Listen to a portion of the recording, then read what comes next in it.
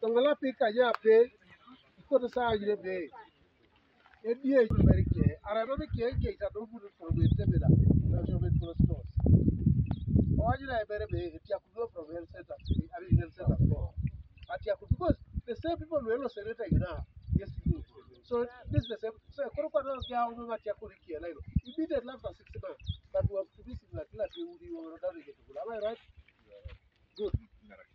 Habis kau dah apa cara panjir ha? Saya belum sakit arah kau pe foundation. Okey orang ni dek kere aka kau tu pasal kere distribusi apa zon? Keke kasu. Esabu kau terkansul. Are tahu kansul keke terkansul lah. Kita local leadership kere akiro dek kau kau kau. Like I would say, okay, around next night, right? I to so. Ota elipula lo district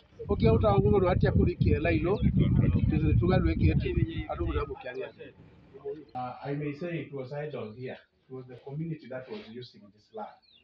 But uh, because of being focused, the council planned that at least let Okunguro parents, being an area that is far away from the other health center, let it also receive a health center. So I want to thank the council for that. May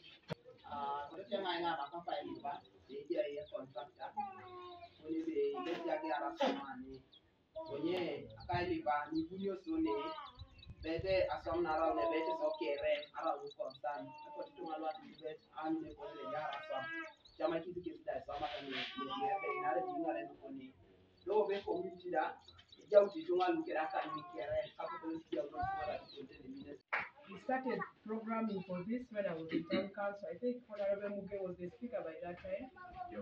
When I left town council, I came to the district and I followed it up. Whenever the issues of this OPD were not this side, of course I was this side already. We already followed it and I just thank God that today we are here launching it. However, like it has already been pointed, there's already an omission in the drawings. You cannot have a health facility or a, a building without toilets. I think that should- the council should go back and